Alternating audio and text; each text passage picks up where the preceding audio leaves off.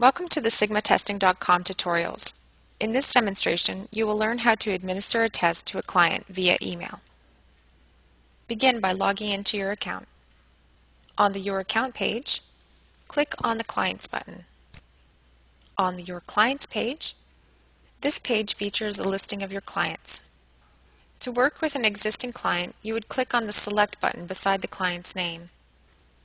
For this demonstration, add a new client by clicking on the Add Client button. On the Edit Client Information page, enter the client's first name. Then enter the client's last name. Note that you must enter your client's first and last name. Everything else is optional.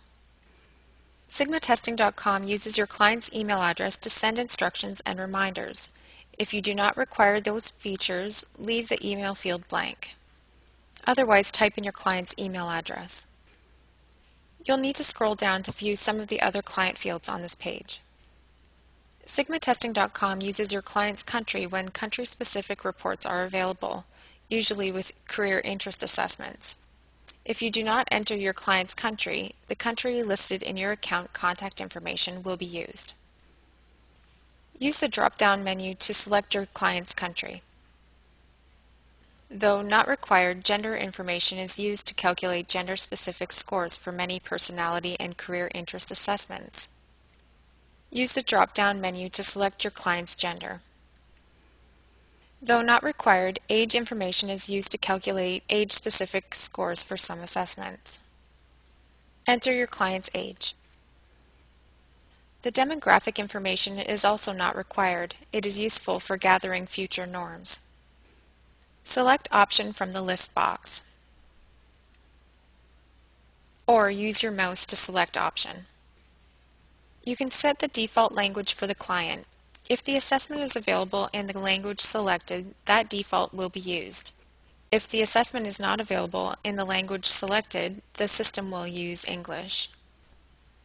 Use the list boxes to view the language options for administration and report language. Note, not all assessments are available in these languages. Click Save to continue. On the Assign Test page, scroll down to view your available tests. The email instructions column will only appear if you entered your client's email address. Click on the checkbox beside the test or tests you wish to administer. To automatically email test-taking instructions for a test, click on the checkbox in the Email Instructions column. Reminders can be set up to automatically email the client. Select the frequency from the drop-down box. Options range from never to every 14 days. Use the drop-down box to select the date you want the reminders to stop. Then click on the Assign Test button. You'll be asked to confirm your selection. Review the tests that will be assigned and the actions that will be performed. Click on the OK button to assign the tests and automatically email test-taking instructions.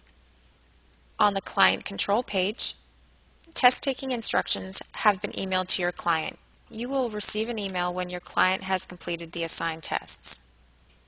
You can sign out of your account by clicking on this icon, or you can scroll down to view your client's information.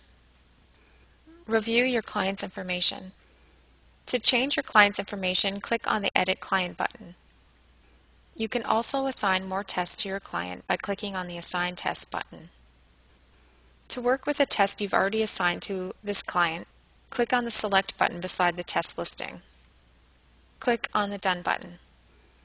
You'll be returned to the Your Clients page where you can work with another client or sign out.